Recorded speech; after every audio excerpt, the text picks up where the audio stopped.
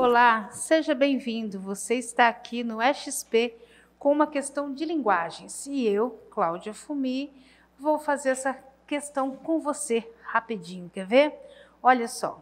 O texto dessa pequena registra a expressão subjetiva. Ó, presta atenção, expressão subjetiva do enunciador, quer dizer, o jeito particular, a forma dele, trabalhada em uma linguagem informal, comum na música popular.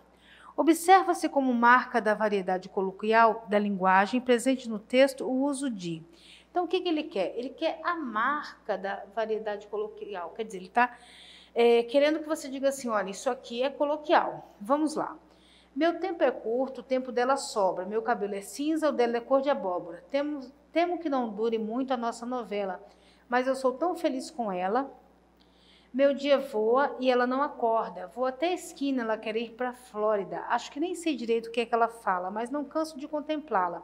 Feito avarento, conto os meus minutos, cada segundo que se esvai, cuidando dela, que anda no outro mundo. Ela que esbanja suas horas ao vento. Ai, às vezes ela pinta a boca e sai. Fique à vontade, eu digo, take your time. Sinto que ainda vou penar com, essas, com essa pequena, mas o blues já valeu a pena. Lemos.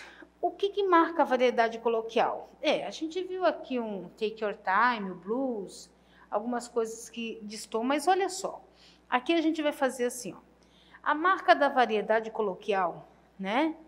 Ela se faz perceber pelo uso de palavras emprestadas de língua estrangeira, de uso inusitado no português. Nós temos essa, nós temos a língua estrangeira que está aqui, Take Your Time e temos aqui o blues. Ele é de uso inusitado no português? Letra B, repetições sonoras no final dos versos. É só olhar aqui. Sobra abóbora, mais ela acorda Flórida, mais lá minutos esvai outro. Não, não há essa repetição sonora e ela não é característica da variedade coloquial. Né? Do, dois argumentos para a letra B está errada. Formas pronominais em primeira pessoa, não, isso não é marca de variedade coloquial, então pode descartar. Palavras polissêmicas que geram ambiguidade, nós temos ambiguidade aqui, não temos e também não é marca da variedade coloquial, podemos jogar fora. Expressões populares que reforçam a proximidade entre o autor e o leitor. Onde é que estão essas expressões populares? A gente vai localizar aqui, ó. É, meu dia voa, tá? Acho que nem sei direito o que é que ela fala, mas não canso de contemplá-la. Feito avarento, conta os meus minutos. Olha aqui, ó. É, ela que esbanja suas horas ao vento. Ai, às vezes ela pinta a boca e sai. Fique à vontade. Sinto que ainda vou penar com essa pequena, mas o blues já valeu a pena. Então, aqui, ó.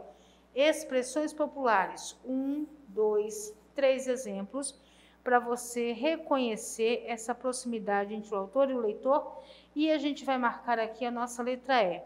Aqui, o inusitado vai derrubar a letra A. Então, confirmação de quatro erradas, nossa certa, e tempo de sobra para ir para a próxima questão. Estou esperando você lá.